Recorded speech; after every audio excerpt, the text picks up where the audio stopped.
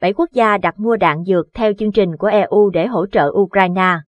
7 quốc gia EU đã đặt mua đạn dược theo một kế hoạch mua sắm mang tính bước ngoặt của EU để cung cấp đạn pháo cần thiết khẩn cấp cho Ukraine và bổ sung các kho dự trữ của phương Tây đã cạn kiệt, theo cơ quan phụ trách của EU. Các đơn đặt hàng được đặt theo hợp đồng do cơ quan quốc phòng châu Âu đàm phán, là đạn pháo 155mm, một trong những loại đạn quan trọng nhất trong cuộc chiến tiêu hao giữa Ukraine và Nga. Kế hoạch này được thiết lập như một phần của kế hoạch trị giá ít nhất 2 tỷ euro, được đưa ra vào tháng 3 với mục đích cung cấp một triệu quả đạn pháo và tên lửa cho Ukraine trong vòng một năm, Reuters đưa tin.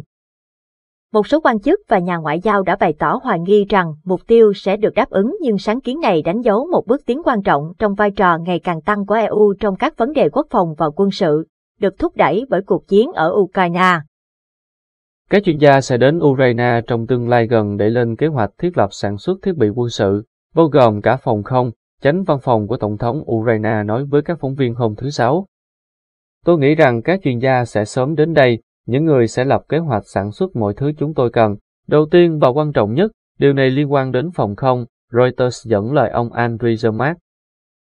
Tổng thư ký NATO Jens Stoltenberg cho biết, ông tin tưởng rằng Ba Lan sẽ tìm cách giải quyết những bất đồng với Ukraine mà không ảnh hưởng đến hỗ trợ quân sự cho cuộc chiến của nước láng giềng chống lại Nga. Tuần trước, Ba Lan cho biết họ sẽ chỉ thực hiện việc cung cấp vũ khí đã thỏa thuận trước đó cho Ukraine và thay vào đó sẽ tập trung vào việc xây dựng lại kho vũ khí của riêng mình. Ba Lan, một thành viên NATO, cho đến gần đây vẫn được coi là một trong những đồng minh trung thành nhất của Ukraine trong cuộc chiến với Nga nhưng quan hệ giữa hai nước trở nên xấu đi sau khi Ba Lan quyết định gia hạn lệnh cấm nhập khẩu ngũ cốc của Ukraine. Tôi đang mong đợi và tôi tin tưởng rằng Ukraine và Ba Lan sẽ tìm ra cách giải quyết những vấn đề đó mà không ảnh hưởng tiêu cực đến sự hỗ trợ quân sự cho Ukraine, ông Stoltenberg nói với Reuters trong một cuộc phỏng vấn ở Copenhagen.